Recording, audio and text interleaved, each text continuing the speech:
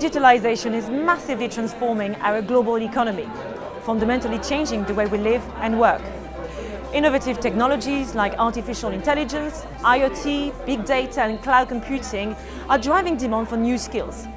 For young people, this represents new opportunities of employment and entrepreneurship.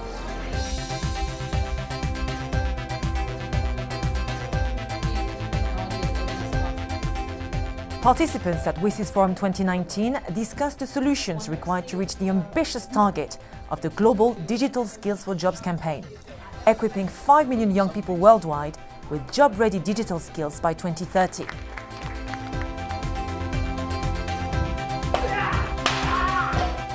Every year, the organizers of WSIS Forum innovate by introducing new tracks and services, and this year was no exception.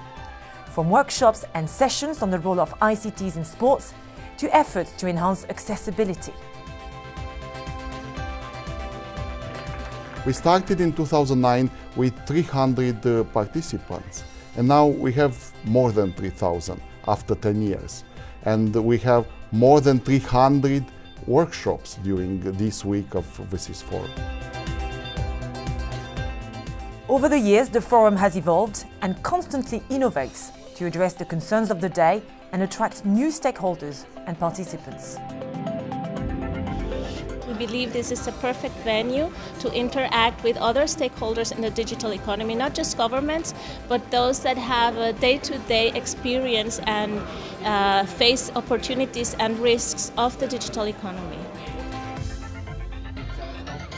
We learn more about how to protect the children, also how to use IoT, blockchain. The very richness of the speakers and wonderful content has made this particular WSIS Forum 2019 as a massive success. My take home is that uh, ICT is supposed to be an enabler to ease uh, the people's uh, lives. We've heard some great new ideas from other parts of the world as well, um, which will give us definitely food for thought um, and to seek out new partners in our future projects and developing our projects further as well. I feel really excited because with all these people, all these ideas all together, we can uh, create concrete plans for the future.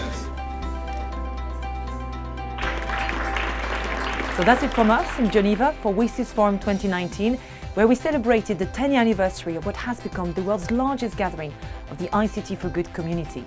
In the years ahead, the forum will endeavour to remain a powerful platform to bring positive change to the rest of the world by using technology, of course, but also greater collaboration. Well